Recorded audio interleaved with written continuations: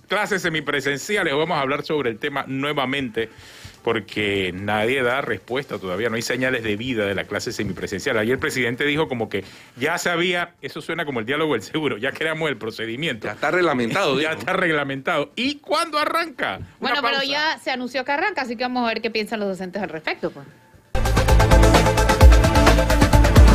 Eh, ya estamos de regreso con más y ya tenemos a nuestro invitado del día de hoy es el dirigente docente Diógenes Sánchez. Bienvenido, profesor. Sí, saludos cordiales. Eh, gracias por la oportunidad. Oiga, profesor, eh, usted estuvo casi que, como si, fuera en redes sociales, diríamos que fue trending topic el fin de semana pasado por el knockout. Fue tendencia. Tendencia. Por el knockout que le hizo la, la compañera y amiga Flor Mirachi. Y, pero sobre todo porque sus respuestas provocaron reacción incluso de eh, personalidades médicas que decían que ellos desde el primer día habían estado expuestos al virus eh, sin, vacunación, cumpliendo su deber. ¿Qué reacción le merece esa, esa reacción. de los médicos? Bueno, ante todo, gracias por la oportunidad eh, que se me brinda para participar en este, en este bloque. Miren, eh, creo que es normal que hayan posiciones eh, con respecto al tema de manera diferente. Es decir, esa diversidad de opiniones es la que en alguna medida permite que haya un sistema democrático como el nuestro. Sin embargo, lo que me parece eh, realmente de mal gusto es que algunos médicos, no sé si es que sienten que tienen un estatus superior o de supremacía profesional con respecto a los demás trabajadores, y creen que tienen una patente de curso para eh, señalar y, llamarme inclusive mediocre. Eh, yo quisiera eh, por lo menos contestarle a estos médicos que me han llamado mediocre, que investiguen por lo menos un poco mi vida académica para que puedan tener elementos de juicio y hacer un señalamiento de ese tipo. Lo que sí quiero decirles es que nosotros estamos profundamente preocupados por la situación que vive el país, ya que según las estadísticas del propio Ministerio de Salud, alrededor de 32.483 estudiantes han sido contagiados con el coronavirus. ¿Qué porcentaje es eso, profesor? 23.289 son menores de 15 años, lo que significa de que realmente el coronavirus sí ha tenido un impacto en la vida de estos muchachos y nosotros estamos profundamente preocupados por la salud. Se ha querido dar a entender como que es un problema de los docentes. No, aquí estamos tratando de preservar el valor más sagrado que es la vida de nuestros estudiantes y que son los más expuestos, ya que eh, todos los menores de 16 años no van a ser vacunados lo que implica de que estos estudiantes se convierten en eh, posibles focos de contagio en los centros escolares. Y eso es lo que nosotros estamos defendiendo, la vida de nuestros estudiantes y no una posición mezquina, como han querido dar a entender, que tenemos los docentes que no queremos eh, es, laborar. Por el contrario, queremos volver a clase, pero cuando existan las condiciones de salud que así lo permitan. de verdad queremos volver, pero salvaguardando la vida de nuestros estudiantes. El problema, profesor, es que las condiciones que ustedes están poniendo son bastante difíciles de alcanzar. Por ejemplo, alegan que los están vacunando, pero no a todos. Sí, tampoco han vacunado a todos los médicos. Todavía hay médicos de las clínicas muy pequeñas que no han sido vacunados todavía. Tampoco han vacunado a todas las enfermeras del país, ni siquiera a todo el personal de los hospitales. Entonces, alcanzar, alcanzar la vacunación en primera y segunda dosis de todos los administrativos, docentes y directivos incluso de las escuelas puede tomar muchísimo tiempo. Y estamos en el número 71 de 78 en mediocridad en la prueba PISA. Entonces, los niños siguen perdiendo oportunidades de vacunación, de alimentación, porque muchos niños solamente comen en la escuela, de diagnósticos de todo tipo. Entonces no solamente lo académico que se está perdiendo y como le digo, las condiciones que ustedes ponen son para no volver más nunca. Sí, mire, creo que hay que tomar una serie de medidas integrales. Nosotros no solamente estamos hablando de la vacunación de los docentes, sino que eh, la manera intempestiva como la ministra de Educación quiso aperturar los centros escolares este lunes, nos parecía que realmente eh, ponía en peligro y ponía en riesgo la vida y la salud de nuestros estudiantes. Creo que es una reacción de defensa en salir a defender a nuestros estudiantes que son los que no están vacunados, que estamos hablando que hay 32 mil estudiantes eh, menores de edad que se contagiaron el año pasado y que los convierte en focos potenciales de contagio en los centros escolares. Pero eran Estamos 19 hablando de escuelas. que eh, todavía no hay medidas que se han tomado, por ejemplo, eh, los desembolsos de los recursos de las escuelas. Hay denuncias de directores que han señalado que todavía los centros escolares no le han depositado los fondos del FES. sí, sí, es Entonces, que cada ¿cómo uno tiene mantener que... las medidas de Profesor, de comprar insumos, eh, comprar eh, cloro, comprar este alcohol? Cloro no eh, se necesita, profesor. Para poder salvaguardar la seguridad de nuestros Solo se no necesita este momento. agua y jabón, profesor. Los insumos no son gran cosa lo que se necesita. Pero usted me dice que como iba a abrir estaba mal. Eran un plan piloto de 19 escuelas con sus medidas de bioseguridad. El retorno era gradual y voluntario, incluso para los profesores, lo que parecía realmente absurdo, ¿no? Porque entonces, ¿para qué me sirve que vayan 26 niños a un salón donde no haya un profesor? O van a ir a parquear ahí. Entonces, eso por un lado. Entonces, te dice que no estaban bien organizados, pero eran 19, como le digo. Entonces, no, estoy entendiendo muy bien lo que dice. Flor, precisamente Telemetro hizo un reportaje del colegio Daniel Octavio Crespo en Bugaba. Y la directora manifestaba que se estaba enterando esa semana que el colegio iba a hacer el plan piloto para iniciar el 12 de, de abril. Estamos hablando de que ese colegio ni siquiera tiene agua eh, eh, permanente. La mayoría de los centros escolares de este país, alrededor del 80%, según la última estadística que mostró el propio Ministerio de Educación, no tienen agua potable. Entonces, mal podríamos, si lo mínimo que le pide a un centro escolar para que inicie el año, el año escolar es agua potable para que los muchachos se laven las manos y no hay eso. Nosotros sabemos la cantidad de problemas que tiene el IDAM y no hay ni siquiera agua en esos centros escolares que, insisto, no tienen las condiciones, esos 19 colegios. Los profesores y la comunidad educativa se enteró ese mismo día de que habían sido seleccionados un listado para empezar el, el 12 de abril y nunca se consultó ni siquiera a los padres de familia, no se consultó a los docentes, que es muy importante. Mire, un dato eh, que no se ha querido decir. La ministra de Educación se reunió con 36 asociaciones de padres de familia y los 36 asociaciones de padres de familia le dijeron a la ministra que no estaban eh, interesados en que por lo menos en las circunstancias actuales volviéramos de manera presencial porque los colegios no han sido habilitados. Ha pasado más de un año y el Ministerio de Educación ni siquiera ha hecho la, la reparación a los centros escolares. Profesor. No tienen agua potable, los baños están destruidos, eh, no hay fuentes de agua en, en- en las escuelas. Es decir, que hay Esas una serie de 36 elementos escuelas- que eh, enfrentan los centros escolares y que eh, eh, exponen a nuestros estudiantes al contagio, ya que ni siquiera jabón tenemos en esas escuelas. Profesor, esas 36 gremios que según usted se reunieron con la ministra y le dijeron que ninguno, unánimemente le dijeron no queremos abrir.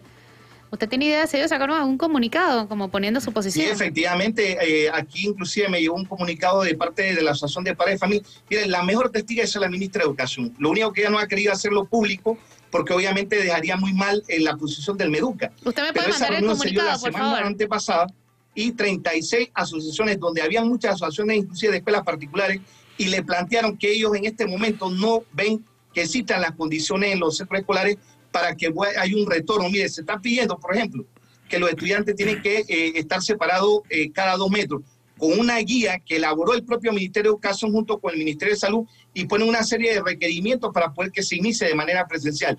Los, los centros escolares nuestros no tienen una infraestructura que permita un distanciamiento de dos metros con los estudiantes. Estamos hablando de, de salones saturados de 45 estudiantes, donde solamente pudiéramos atender por día alrededor de 15 estudiantes. Pero profesor, usted Prácticamente dice... alrededor de 30 Profesor. se quedarían por fuera porque no habría el Profesor. distanciamiento que permita el proceso académico de ellos. Por favor, déjeme preguntarle.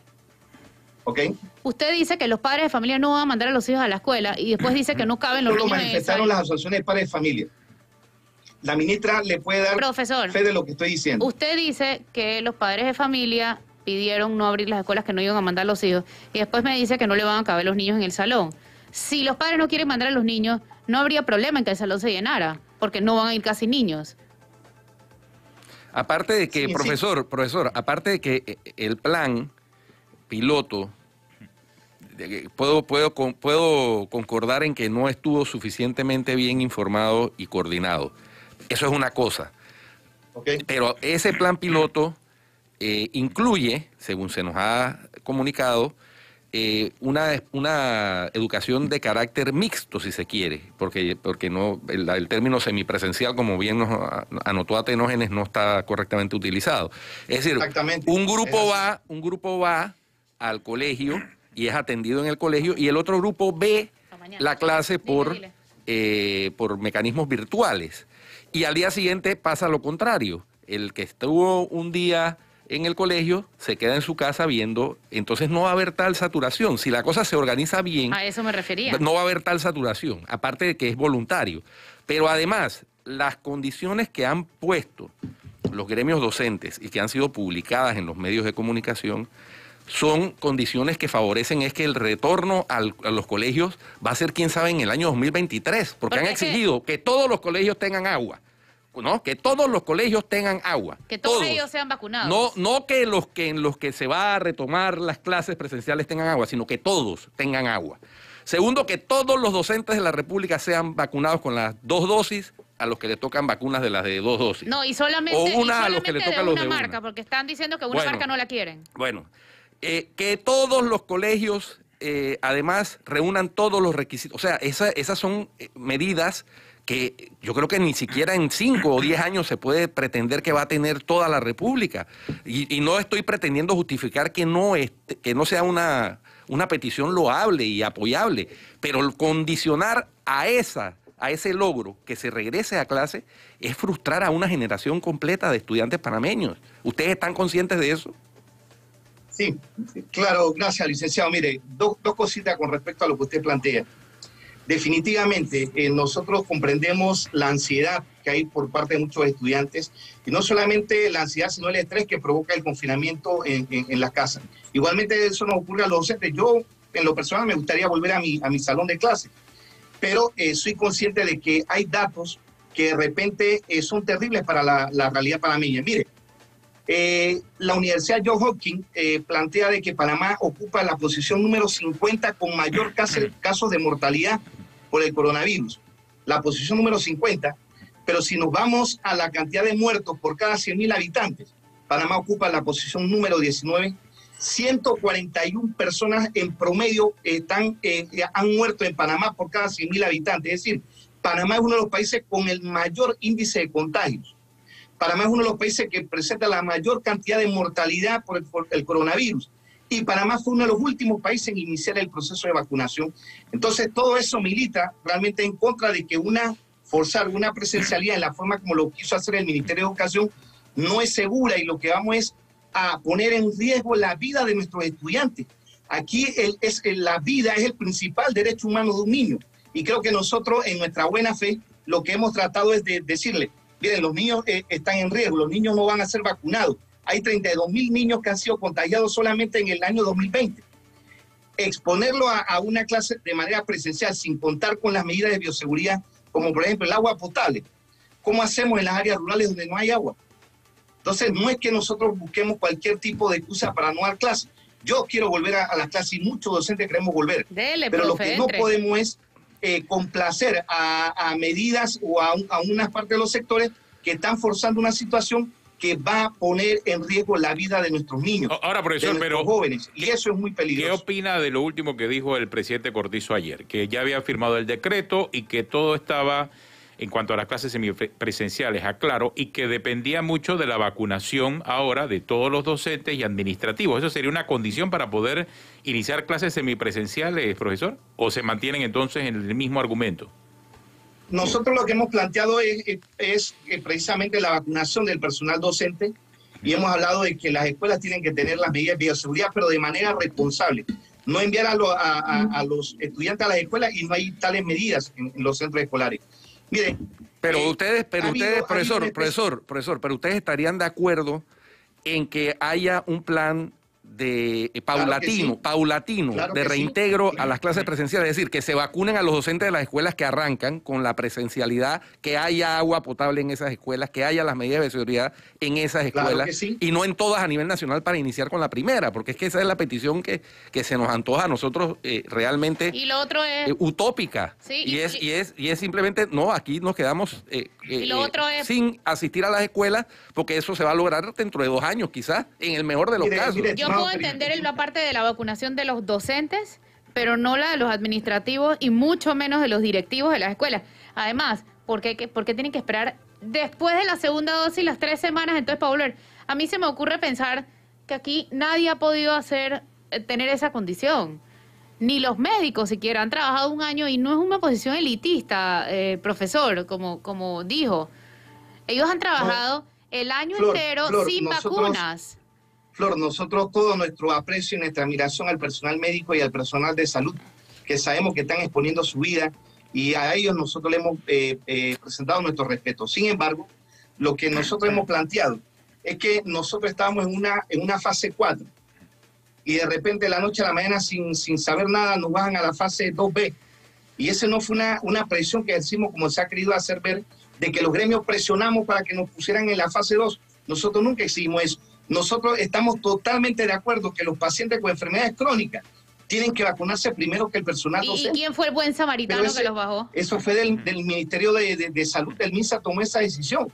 nosotros seríamos incapaces. Pero, sí. pero ustedes, como yo le dije en el knockout, como yo le dije en el knockout, ustedes serían incapaces de pedirlo, pero cuando se los dieron no dijeron nada y si no les parecía correcto, ¿por qué no dijeron nada? Porque, porque precisamente, Flor, tú me estás dando la razón, porque hay sectores poderosos en este país que están impulsando las clases presenciales. Y esto obligó a que el gobierno se diera esas presiones y nos bajaran a la fase 2. y estos son poderes que, que, que, tienen una gran influencia en el poder público. ¿Quiénes son? ¿Quiénes son? ¿Quiénes son? Profesor, profesor, hay sectores... La Cámara de Comercio ha, ha, dado, creo que el, el Profesor, pero eso suena a teoría de, conspiración. Profesor, hay un... que había que volver hay un, a la clase presencial. Profesor, pero eso suena a teoría de conspiración. Hay un sector muy importante. disculpa, Guido, eso suena a teoría de conspiración y están repitiéndolo constantemente y no necesariamente eso se ajusta a la realidad. Usted dice que hay una gran conspiración nacional de gente que quiere regresar a la escuela, pero nunca le han preguntado a los estudiantes si quieren regresar a la eh, escuela. Allá iba. Ese es el sector más importante que, según una encuesta que circula por ahí, el 77% de los estudiantes quieren regresar a, sus escuelas. Y ese es el, el, que menos se considera. Entonces... Sí, hasta los pelados que no les gusta ir a la escuela quieren ir ahora por algo. Y la prueba es que ayer, mire, profesora, ayer hubo una reunión del COPEME. Que hicieron eh, varias profesor, ayer hubo reunión del COPEME, profesor, y los estudiantes que están dirigiendo COPEME en este momento, que están coordinando, fueron los que se pararon y dijeron, ven acá, ¿cuándo vamos a regresar a las clases? Sí. ¿Cuándo ellos no es solamente la encuesta que según usted es bruja, Exacto. es esta. Entonces, entonces profesor, pero yo puedo, yo puedo, yo puedo responderle que eh, un colega de usted, el periodista Álvaro Alvarado, también hizo una encuesta y el 67% de las personas que contestaron dijeron que no estaban de acuerdo con es que al final del día, profesor, no se vaya muy lejos. Puede decir uno que sí, uno que no, que quiero, que no quiero. Es que no es de querer, es de necesitar. Sí, estamos de acuerdo, pero lo que yo no puedo, Flor, es porque haya eh, sectores que estén empujando esto poner y eh, exponer la vida de nuestros estudiantes. ¿Quién se va a hacer responsable cuando un estudiante muera por contagio? Si estamos hablando de que los estudiantes no van a ser vacunados, ¿quién va a ser responsable de la muerte de su cada padre decide si manda a, su hijo a la escuela o no. Cada profesor, cada padre, la responsabilidad de la muerte de sus estudiantes que, se contagien en los centros escolares. ¿Quién asume esa responsabilidad? Profesor, pero entonces, volviendo a la, a la pregunta que le formulé anteriormente, ¿ustedes estarían de acuerdo con un plan piloto paulatino, sin exigencia de que todos los docentes estén vacunados del país, todas las escuelas del país tengan agua, todas las...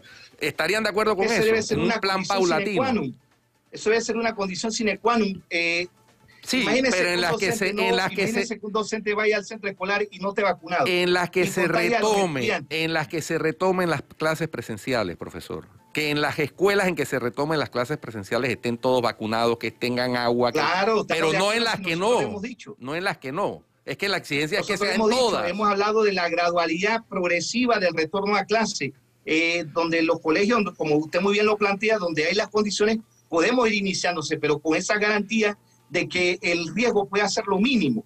El problema es que se escogieron 19 colegios, que insisto, los colegios se enteraron en esa semana que ellos eran escuelas seguras y cuando usted veía las tomas, por ejemplo, que yo veía de Telemetro, en, esa escuela el colegio está en, plena eh, destrucción. Entonces, eso no es responsable. Ni siquiera la comunidad educativa sabía que ellos habían sido considerados como escuelas seguras. Y esas son las cosas que nosotros le estamos señalando al Ministerio de Educación. Aquí estamos hablando de la vida de nuestros niños, la vida de nuestros jóvenes. Y los docentes tenemos el deber moral de garantizar que cuando regresemos a la clase, nuestros niños no se contagien y vayan a morir por irresponsabilidad eh, de, la administración pública. Bueno, profesor, recuérdese que usted tiene una clase que empieza a las 8 y 45. Si hay los recursos, miren, los fondos del FESE todavía no se depositan en los centros escolares. ¿Cuándo pretenden depositar los fondos para que puedan comprar los insumos y hacer la limpieza en las escuelas? Profesor, tiene una clase que empieza a las 8 y 45. Gracias por Sí, acompañarnos. Es correcto, es gracias, gracias. Vuele. Primero, gracias, Flor, por la oportunidad de poder desarrollar algunas ideas y gracias a todos ustedes por la oportunidad. Bueno, Chao, muchas gracias. cuídese. profesor. Eh. Realmente no, es que, es que el discurso y la teoría de conspiración, y sabe lo que más me preocupa, y sin demeri- demeritar el- el- la capacidad profesional del profesor, es que se repite la misma historia y, y- y la repite todos los días, y repiten la teoría de la conspiración No, y y, el da vuelta a la teoría de elitista, conspiración, el discurso elitista. O sea, y al final mucha gente piensa que lo que él está diciendo es cierto. Pero mira, el punto de los estudiantes es totalmente real y aquí me mandaron inclusive el contacto del de rep- el estudiante representante eh, En Copeme. en Copeme, eh, y que lleva la posición de los estudiantes y que dice, a mí nadie me ha preguntado, a nosotros nadie nos ha preguntado acerca de qué pensamos sobre el regreso a las escuelas. Claro, obviamente la responsabilidad de ese estudiante que es menor de edad recae sobre el padre de familia, pero ellos tienen también una posición Claro. en este tema. Y es atendible. Y es atendible, eh, si bien la responsabilidad es de los eh, padres de familia y acudientes, es atendible escuchar la posición de los estudiantes. Vamos cambio. Ahora, Ah, no, todavía. no, eh, eh, si ayer, ayer un experto en liderazgo atenógenes, eh, reconocido, nos dictaba en la maestría a Flor y a mí eh, un tema sobre, sobre, el, sobre liderazgo del servidor público. Y entre las cuestiones que planteaba, él es argentino y decía, en Argentina los eh, educadores rechazan eh, evaluaciones de desempeño. Y eso ha ocasionado que la educación en Argentina Se estanque. saque un producto que no es eh, un producto que logre eh, colocarse en el mercado laboral. Básicamente ese, ese es lo que... Él usó otro término que no voy a repetir, ¿no? Dale, dale. Dale tú. ¿No? Ah, bueno, no lo voy a repetir, pero porque era, porque era en, en la, la clase, en privado. Pero Ah. eso, esa es la situación en, Oigan toda- en, en casi todos los países de Latinoamérica, con contadas excepciones que marcan la diferencia. Y esas excepciones son Chile y Uruguay. Sí. Ahí está. Pero acá nuestros dirigentes siguen acogiendo esa posición radical. El problema no es que ellos adopten la posición es. radical, el problema es que se lo permitan. Así ellos es. están llegando hasta donde se los permiten y les han permitido demasiado. Les han permitido. Lo que pasa es que son un factor político. Los gobiernos han... así y la es. prueba del factor político la vimos la semana pasada. Pueden más que la ministra de Educación. Los gobiernos, Ahí está la prueba. los gobiernos terminan Pueden cediendo más. y dando el brazo a torcer. No, y aunque el ministro de Educación tenga una posición, o sea, el poder político, y esto sí no es teoría de la conspiración, confirmado la semana pasada lo vimos. O sea, la ministra de Educación dijo una cosa, Y a los dirigentes magisteriales dijeron otra, y el gobierno le hizo caso a los dirigentes magisteriales. Y no es la primera vez. La- No la el año pasado también le sacaron la tabla a la ministra de Educación. Cuando anunció el regreso a clases de los que podían hacerla. No regreso, en las clases virtuales, porque al principio recordemos que no había ni siquiera clases virtuales. Cuando ella dijo, el que pueda que lo haga, se alzó y ardió Troya aquí. Ya. Y después el, el presidente al día siguiente, me acuerdo, Ya. salió y dijo, no, no, es otra cosa. Entonces, a, a mí se me, a mí se me olvidó preguntarle al profesor Diógenes, porque otra de las cosas que me llamó la atención del knockout fue aquello de que, bueno, nos hicieron capacitarnos para las clases virtuales y ahora nos quieren quitar las clases virtuales. por eso yo le dije, oye, Surrealista realmente el toca argumento. adaptarse, parte de la vida es adaptarse. Si un profesor no se puede adaptar, ¿qué esperas de los alumnos? no? Ay, qué esperanza. Una pausa, una pausa, Chao, una ya pausa. venimos.